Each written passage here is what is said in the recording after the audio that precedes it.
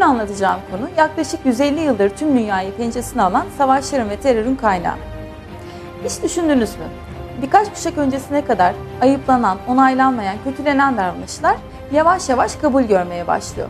Hatta özenilen ve yaygınca uygulanan davranışlar haline geliyor.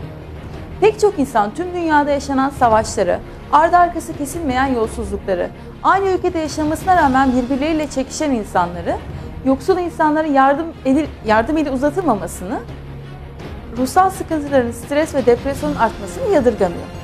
Yakın tarihe baktığımızda ise 20. yüzyıl insanlık tarihinin en karanlık, en tehlikeli, en çok kan dökülen ve insanların en çok korku ve dehşete e, maruz kaldığı yüzyıllardan biri oldu. Lenin, Stalin, Hitler, Idi Amin gibi diktatörler insanlar çok büyük acılar yaşattılar ve milyonlarca insanın soykırımlarına neden oldular. Peki yaşanan tüm bu olumsuzlukların gerçek nedeni neydi?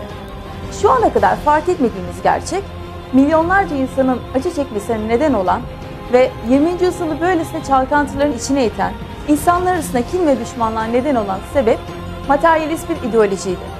Bu ideoloji Charles Darwin'in evrim teorisiydi. Evrim teorisi toplumlara uygulandığında ortaya sosyal darwinizm çıktı. Sosyal darwinizm mevcut kötülüklere, acımasız politika ve uygulamalara bir anda sözde bilimsel bir geçerlilik kazandırmış oldu. Sosyal darwinizme göre hayat bir mücadeleydi ve bu mücadelede zayıf olanlar, hasta, sakat, yaşlı olanlar ezilebilir hatta öldürülebilirdi.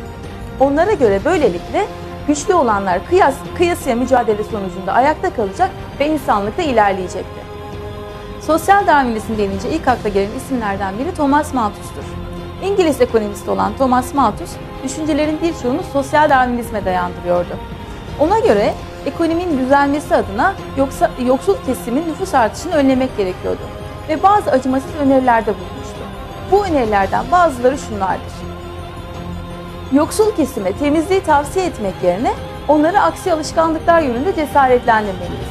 Şehirlerimizdeki yolları daha dar yapmalı, evleri daha kalabalık oturulan yerler haline getirmeli ve vebanın geri dönmesi için çaba harcamalıyız. Ancak her şeyin ötesinde zararlı hastalıklar için alınan özel önlemleri ve bazı hastalıkları kökünden yok etmek için projeler düzenleyerek insanlara hizmet ettiklerini düşen hayırseverleri ki bu insanlar hataya düşmüşlerdir, kınamalıyız. Sosyal Darwinizm görüldüğü yerlerden biri de iş hayatıdır. 19. yüzyılda İngiltere'de sanayi devrimi başladı ve tüm dünyaya yayıldı. Yeni yeni fabrikalar kuruldu ve bu fabrikalarda makineler kullanılmaya başlandı. Sosyal Darwinizmin etkisiyle insanın hayatı, insanın değeri azalmış oldu. Çalışanlar için gerekli güvenlik önlemlerini almayan işverenler nedeniyle çok sık kazalar meydana geliyordu ve bu kazaların büyük bir çoğunluğu ağır yaralanmalar ve ölümle sonuçlanıyordu. 1900'lü yılların ilk yarısında yılda ortalama 1 milyon işçinin öldüğü ya da sakat kaldığı ortaya çıkmıştı. Şu anda da yaşanan durum bundan çok farksız değildir. İnsanlar az veya çok sosyal darwinizmin etkisinden nasibini almaktadır. Peki neden? Evrim teorisi insanı bir hayvan gibi görür ve buna bağlı olarak sosyal darwinizmin ortaya koyduğu toplum modelinde sevgisizlik, çıkarcılık ve bencillik hakimdir. Buna karşılık Allah insanlara sevgi, merhamet, şefkat ve fedakarlığı emretmiş, Müslümanların güzel ahlak özelliklerinden örnekler vermiştir. Bu örneklerden birini bir ayette Yüce Rabbimiz şöyle buyurur.